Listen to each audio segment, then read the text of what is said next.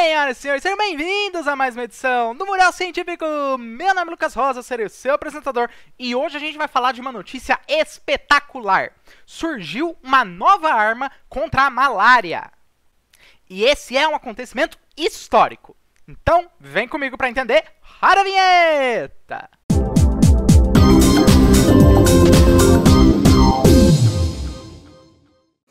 Este canal é membro do Science Vlogs Brasil.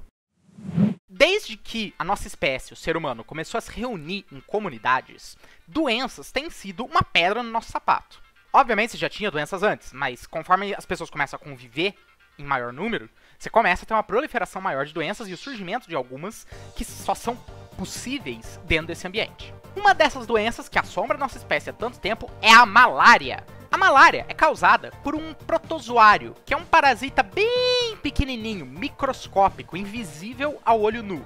E também unicelular, ou seja, que é feito de uma célula só. O organismo inteiro, esse parasita inteiro, é uma única célula. Mosquitos também podem ser infectados por esse parasita e quando esses mosquitos picam nós, seres humanos, a gente acaba desenvolvendo essa doença. A malária é uma doença bem desconfortável, ela causa uma febre bem alta, dores no corpo inteiro e tem desdobramentos que podem vir até a ser letais. Ou seja, não é um negócio tranquilo de se pegar. Também é particularmente perigoso quando uma mulher grávida contrai essa doença, porque ela pode vir a afetar o feto e até causar o término prematuro dessa gestação. E, infelizmente, a morte da criança. A malária, até hoje, mata cerca de 500 mil pessoas por ano, a maioria delas na África. E ainda mais trágico, a maioria, ou pelo menos boa parte dessas mortes, ocorre em crianças nesse continente. E é justamente por isso que essa notícia dessa semana é tão incrível. Eu tô um pouco atrasado, eu admito, isso aqui é uma descoberta de outubro, mas ela acabou passando meio batido na grande mídia, pelo menos eu tive essa impressão, e eu achei que valia a pena trazer aqui pra vocês. E o que diabos é essa descoberta, Lucas? A gente desenvolveu a primeira vacina contra malária. E isso é incrível e eu vou te explicar por quê. Essa vacina é da empresa GlaxoSmithKline, a GSK, que é uma empresa bem grande dentro do ramo farmacêutico. E essa vacina em específica é voltada para combater o Plasmodium falciparum, que é um dos cinco protozoários mais comuns a desenvolver a malária e o mais prevalente no continente africano mais comum dentro desse continente. Ou seja, esse parasita, o falciparum, é o que causa a maior parte dos casos de malária no mundo. E essa vacina, ela não é só novidade por ser a primeira vacina contra a malária, mas ela também é a primeira vacina contra uma parasitose na história da espécie humana. Parasitoses também são chamadas de doenças parasitárias, doenças causadas por parasitas, etc. E são doenças causadas por organismos como protozoários, vermes, esse tipo de coisa. E isso é muito relevante porque um parasita é um organismo muito mais complexo do que um vírus ou uma bactéria. E, portanto, é muito mais difícil você neutralizar esse tipo de organismo utilizando uma vacina. É por causa dessa complexidade que até hoje a gente não teve uma vacina contra uma parasitose.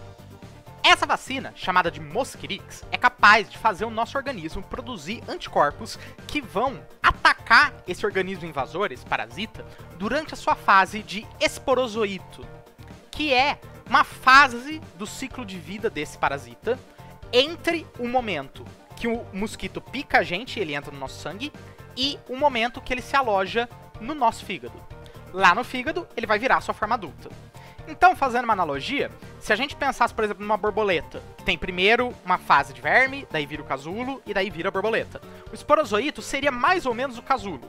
E ao atacar esse parasita nessa fase, nosso organismo é capaz de neutralizar pelo menos um pouquinho essa infecção. Nem tudo aqui são flores. Essa vacina não tem uma eficácia tão alta assim, e existe uma certa controvérsia de se ela é capaz de reduzir de fato os números de mortalidade da doença.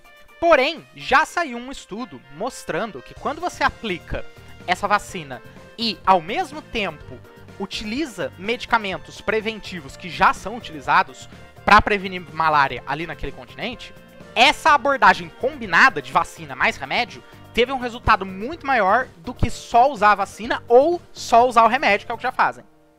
Ou seja, ao que tudo indica, ela pode sim ser uma arma extremamente valiosa Uma arma capaz de ajudar o continente africano a fortalecer a sua resposta a esse problema de saúde pública. Como ela é desenvolvida contra uma espécie específica do parasita, que é mais prevalente ali na África, essa vacina vai ser aplicada só no continente africano mesmo.